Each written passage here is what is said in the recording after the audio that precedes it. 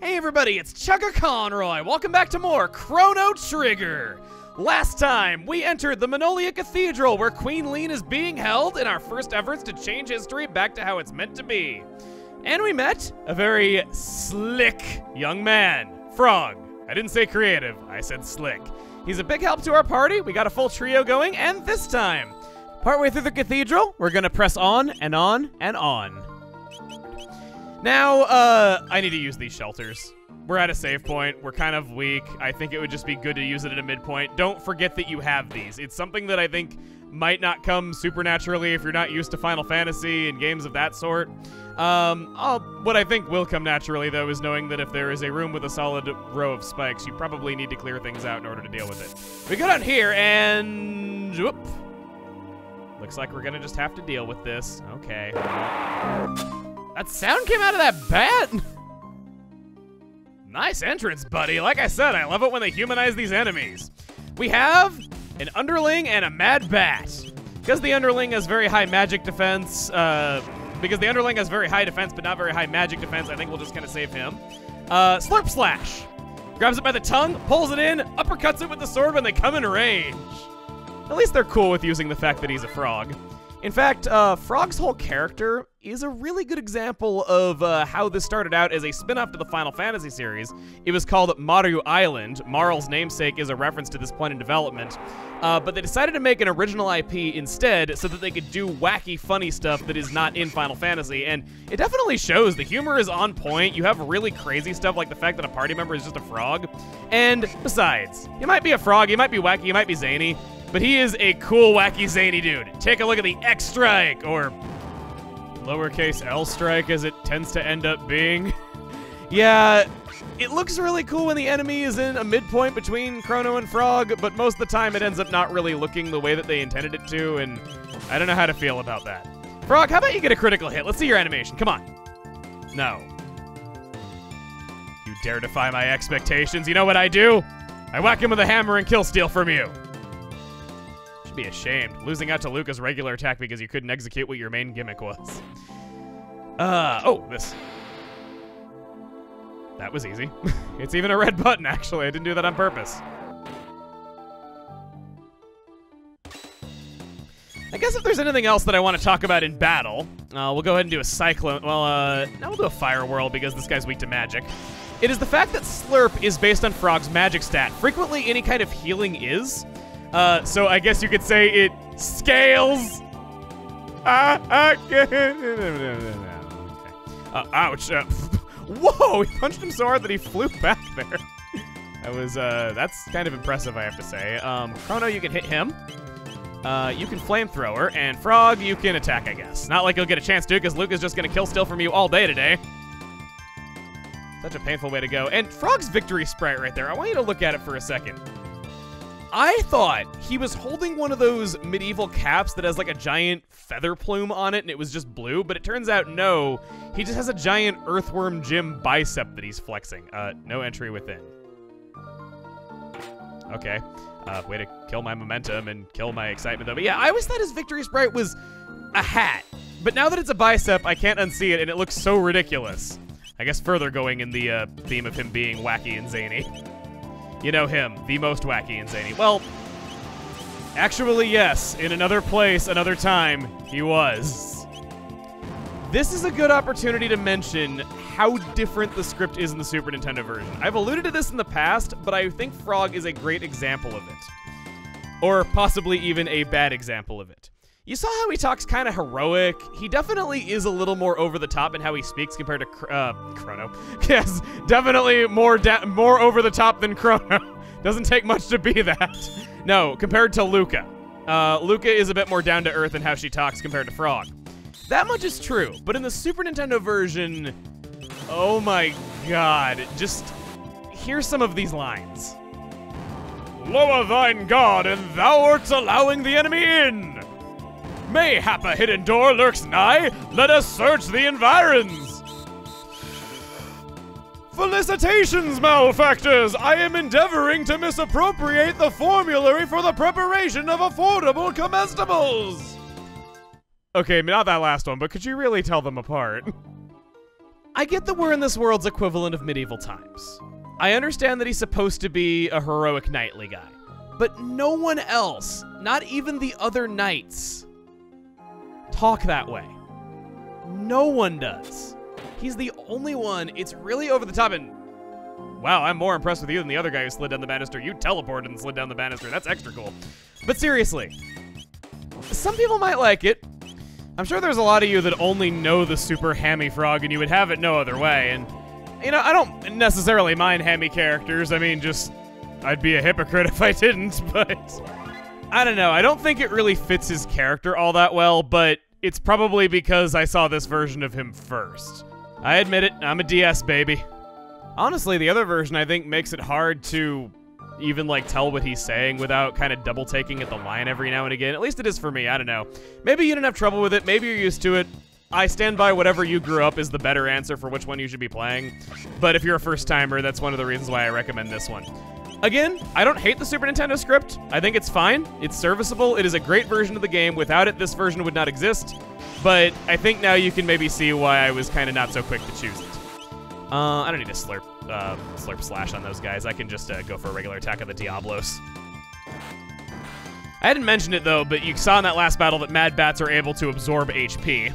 That is their main gimmick that separates them from other enemies. And, you know, for being bats, they are surprisingly resilient, more so than these bipedal demon gargoyle kind of guys.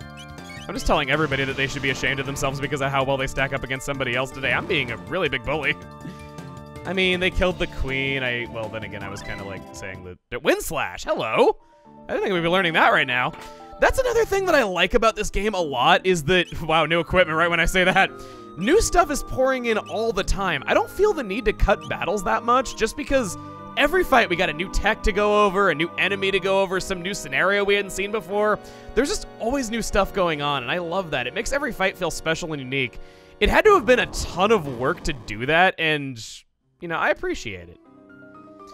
I can't imagine how much work it had to have taken to do this. That's probably why you don't see it that often, that there's always something new to make battles exciting, but I just always have new toys that I want to, can't wait to get my hands on and play with because it's so, so good to just see everything. If you're that determined to get through, by all means. Man, uh, I, I got told off by a piece of paper. How often's that happen? Hello, guys. Shall we dance? We have some new tools to use. Was that a dual tech? No, it's a single tech. Crono, Wind Slash. That's a magic attack. As you see, it did a lot of damage to that enemy with low magic defense. Ouch. got, punched so hard I stopped moving only when I hit a wall.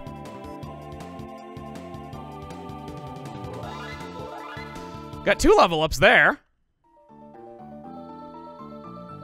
And up we go. Unfortunately for you, you were stationed on a narrow bridge when my attacks are proximity-based. You guys are going from snakes to steaks. Chopped up and well done.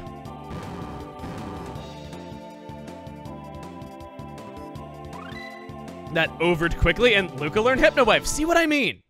Constant. Hypno Wave. Oh, I think this one's underrated. You might think, well, it just puts enemies to sleep. It's a status move that doesn't do any damage. Why would I spend a whole turn doing that? It probably doesn't work on anything worthwhile. No. It works on all enemies at the same time. A lot of people I know just never even use this move one time and never give it a chance. Oh, it's good. It doesn't suffer from the problem of only hitting one target and bosses not being weak to it. Some bosses are, actually. It keeps large groups of enemies under control, so it's a great utility, even. For the effect, it's dirt cheap, too, only costing one TP. Uh, here we got a save point. I just healed up not too long ago, so I think I'll... Uh, yeah, I think I'll just kind of keep going. No need to heal. We just did. Prepare yourself, Queen Leene. It's time for you to bid farewell to this world. You! How'd you get in here? Frog! Flee, your majesty! We shall dispatch this fiend! Be careful.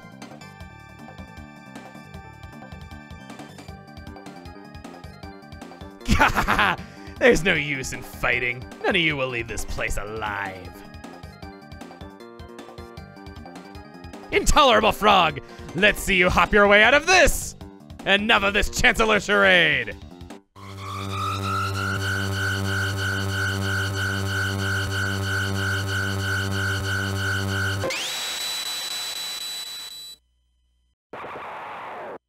The Chancellor transformed into Yakra. Already made that hopping pun earlier, buddy. You're about as slow as you look. Yakra! If I may attack him right away. Uh, let me attack using Frog, actually. Grog! If you are too far away when you attack, then he will counterattack the entire party. You want to attack when he is physically close to your starting position. Uh, right there, he is pulsating those, um, backzits. When he does this, he uses a needle launching attack on one member of the party after charging it up, and it does a heavy amount of damage. Uh, let me... Okay, let me see if that worked right there. Uh, Lucca's gonna shoot there. Okay, that was too far away. Sorry, I just wanted to make sure of that. Uh, this has gotten really bad really fast, so I'm gonna spend a little time healing up. Basically, as long as Frog, or at least not Crono, is on healing duty and Crono is on attacking duty, you're probably doing it right.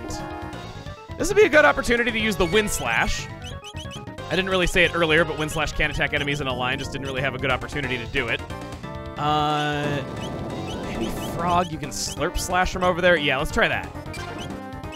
Not afraid to use potions, as much as I... What am I... What am I doing? It is far away that you don't want to do. It is close. Why did I think Slurp, Slurp Slash... Okay. Lucca, you are right there. Flamethrower. Thank you. Okay, good. Too close to counterattack. That's what I want to see. Uh, Lucca, you're our attacker. Crono can heal. Words I never thought I would say. And Frog, uh, go ahead and make things uh, harder on the poor girl. She needs more of a challenge. Uh, not like she has it bad enough in the world lately. Uh, there's the spinning attack. I think actually, where's he going now? Um, maybe we could have Frog initiate an X strike. Yeah, he's really close by. Let's do it. Let's go! Yeah, it actually looks like an X now. Too close to counterattack. Perfect. Exactly what I want to see. And maybe if he's going over to Lucca, we could initiate a Fire Whirl. Now, let's just, uh, let's, stick with the X-Strike. Probably gonna get countered on this one, but I got a lot of health. I can afford it. 181? Grog!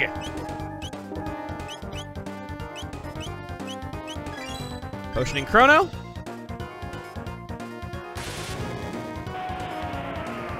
And this is getting repetitive. We gotta finish this off. Come on. That is not a word that befits this battle system.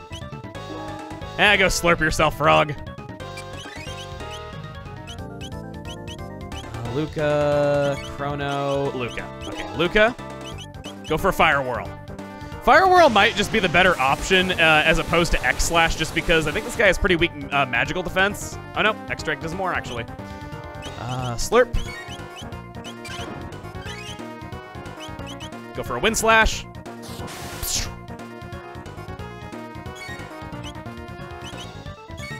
Fire Whirl.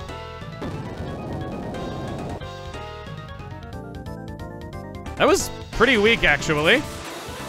I guess to be expected that no matter how much you weigh, just jumping up and down, not on an enemy, probably wouldn't do much to them. And there it is!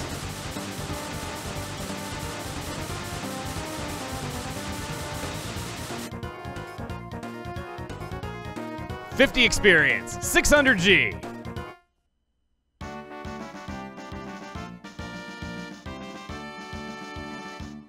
Thank you, Frog. I knew you'd come to rescue me. His Majesty awaits most anxiously. We should return to the castle. I thank you, Crono and Lucca, for all your aid. And I as well. Please accompany us to the castle. You will be most welcome guests. I have things I need to take care of first. Don't let make me no. Please don't warp me away. Yes, thank you. Good games let you walk around. Opening no- chest number one. Uh, ooh, my thanks. That monster stuffed me into the there like a sack of coin. Uh, muscle stretch, bones break. Uh, oh, your majesty, I am undamaged as you can see. Mid-ether. First time running into one of those. Ethers are indeed MP heals, uh, but a mid-ether restores 30, whereas a regular one only restores 10. Nothing over here, just making absolutely sure. I haven't been quite as much, I haven't been quite as anal retentive about uh, filling in the map on the bottom screen as you would expect. As you can see, I'm making up for it by doing it when it's an important moment and the story is pressing. Ooh, my thanks. Oh, you're just saying the same thing. Yes, let us be on our way.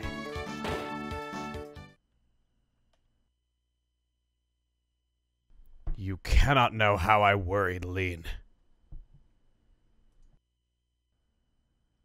Yakra, that vile beast, impersonating me and kidnapping the queen. We must institute a stricter criminal justice system in this kingdom to ensure such fiends never threaten the royal family's safety again.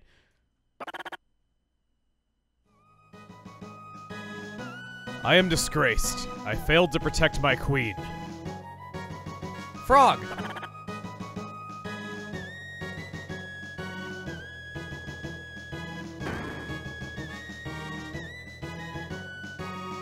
I am forever in your debt. Who knows what would have happened to me had you come even a little later than you did. By the way, what became of the girl who was mistaken for me? Oh yeah, I forgot all about Princess Nadia! Crono, where did the princess disappear? She may be there now. You have my deepest gratitude, Lord Crono, but I wonder, who then was the girl we found in the canyon? Yakra, that vile beast impersonating me and kidnapping the queen. Oh, he just repeats this all day, pacing back and forth to himself. It was a very traumatic experience being stuffed in that box. It was my presence here that endangered the queen. I can remain at this castle no more. Crono, you've the makings of a great swordsman.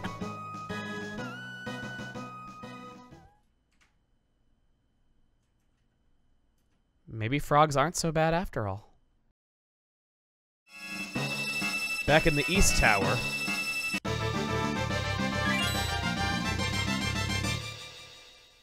Huh? What happened? Princess Nadia! Crono! It was awful. I was so afraid. I couldn't see or feel anything, but I knew I was someplace cold. I wonder if that's what it's like to die. Your Highness, I. You came to help me too. Wait, Your Highness? Uh oh. I guess you guys figured me out, huh? Sorry, Crono. I didn't mean to trick you. My name is really Nadia. My father is King Guardia the 33rd. I just wanted to go to the fair and have fun like everyone else. But if you'd known who I really was, you wouldn't have shown me around the fair, would you, Crono?